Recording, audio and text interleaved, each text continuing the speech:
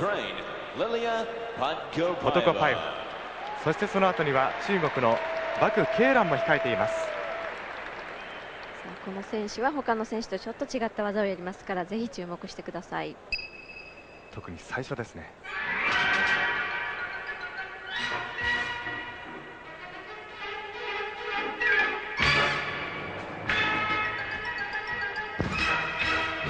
はい決まりましたよ。決まりました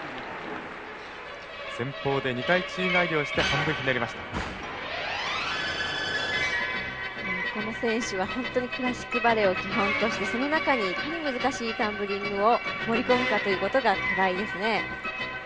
特にその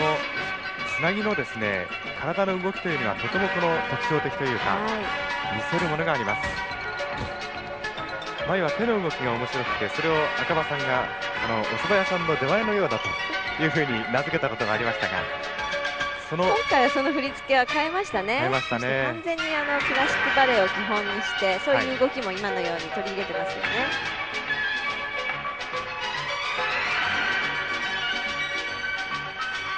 今まであのこれほどクラシックバレエの要素がきちっと、まあ、今まで全部訓練してたにもかかわらずこれだけ感じさせる選手っていうのは珍しかったんですね。え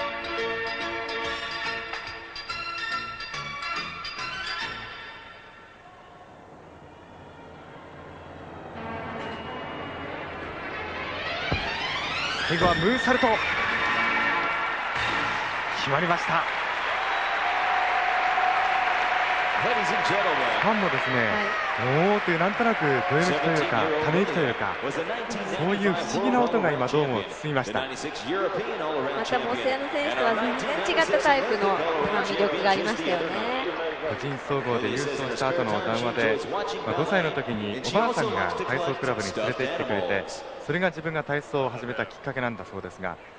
そのおばあさんが最近亡くなりまして天国で見ていてほしいと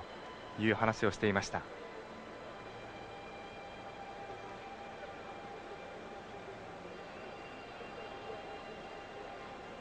この選手は本当に前方系の技術がしっかりしてますね、えー、普通はあの後転跳びロンダード後転跳びこのようにこうやって宙返りに続けていくんですがこの選手は前方展開から前方宙返りに続けていますね。さ